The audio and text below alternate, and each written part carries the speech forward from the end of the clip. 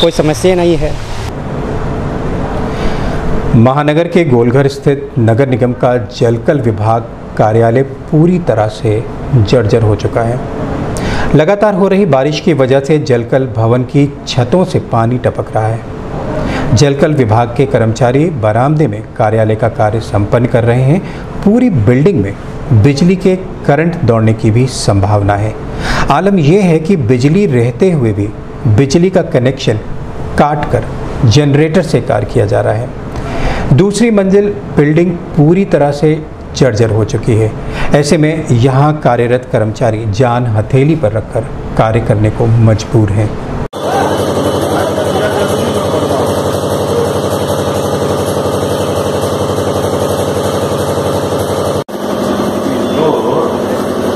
तभी से कई बार को दिखाया गया।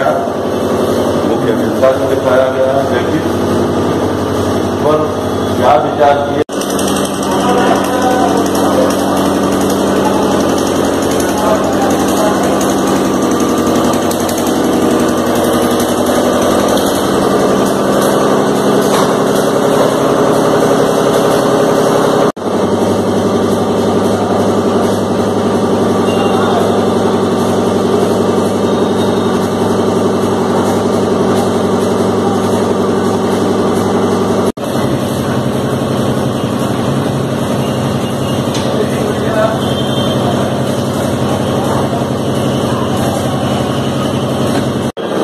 छोड़ दिया है छत का ऊपर। ये सुपरवाइजर कक्ष है ये लाइट का स्तंभ भवन है ये देखिए लाइट अपने आप जल रही है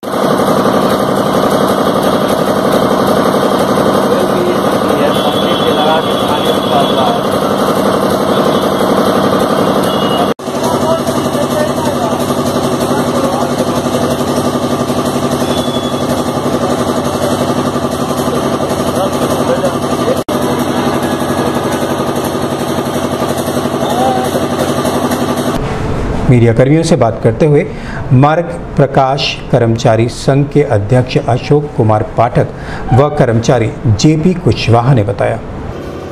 हम लोगों का कार्यालय इसी बिल्डिंग में है, पीछे, और सुपरवाइजर भी हमारे यहीं बैठते हैं। पूरी बिल्डिंग जर्जर हो गई है, और लगभग तीन साल से यही स्थिति है। इसको मुख्य अभियंता से भी दिखाया गया। उन्होंने आश्वासन दिया था कि चौदहवें वित्त में इसको डाल देते हैं, ठीक करा दिया जाएगा। उसके बाद नगर आयुक्त महोदय को भी दिखाया गया, लेकिन अभी तक इस पर समुचित कोई कार्रवाई नहीं की गई और बिल्डिंग की स्थिति यह है कि कभी भी कोई अप्रिय घटना हो सकती है। कर्मचारी दब के मर सकते हैं और ये अनदेखी बहुत भारी पड़ सकता है। लेकिन विभाग इस पर ध्यान नहीं दे रहा है। हम लोग बार बार आग्रह भी किए, कई अधिकारियों से, अपने बड़े अधिकारियों से कहा गया कि इस पर विशेष ध्यान दे करके इसको ठीक कराया जाए इसके गिरने से पूरे जलकल परिसर का ये जलकल के नीचे का ऑफ़िस जो है वो भी ध्वस्त हो जाएगा। जलकल के अधिकारी कर्मचारी सब नीचे काम करते हैं। लेकिन अभी तक इस पर ध्यान नहीं दिया गया है और स्थिति आप देख रहे हैं आपके सामने पूरी बिल्डिंग ध्वस्त हो गई है छू रही है। है ये? बिल्डिंग तो लगभग बहुत पुरानी है। हम लोग तीस तीस बत्तीस साल के लगभग हुआ भवन पूरा जर्जर है। पिछले साल भी हम लोग नगर आयुक्त से और उससे जल नगर विद्युत जल से कहा गया लेकिन अभी तक कुछ इसका रख रखाव नहीं हुआ। इसके कारण पूरा बिल्डिंग जर्जर है। देखिए पूरा हर मतलब कमरे में लाइट उतर रहा है करंट आ रहा है। पूरा ट्यूबलाइट देखिए अभी ना लाइन कटा हुआ है। उसके बावजूद भी ये जल रहा है। जनरेटर जला के काम किया जा रहा है। पूरा लाइन फाल्ट हो गया है। कभी भी मकान गिरने का संभावना है कभी बिल्डिंग गिर सकता है। तीन मंजिली बिल्डिंग है दो मंजिला दो मंजिला। सारे भवन जर्जर सारे भवन जल जाएगा पानी पूरा ऊपर से नीचे इसके नीचे जा रहा है पानी।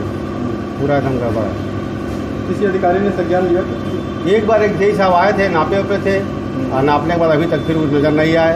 एक बार यहाँ पे गाटर भी आया था तीन चार गाटर रखा हुआ था वो गाटर ठेकेदार पता नहीं क्यों उठा ले गया जानकारी हमको नहीं है तो कैसे काम चल रहा है आपका? मतलब? काम कहीं कहाँ चल रहा है? देखिए फिर हम लोग बाहर कुर्सी निकाल के बैठ रहे हैं। कभी बाहर खड़े हो रहे हैं कभी यहाँ खड़े हो रहे हैं बिल्डिंग में बैठने में डर लग रहा है। शुक्रवार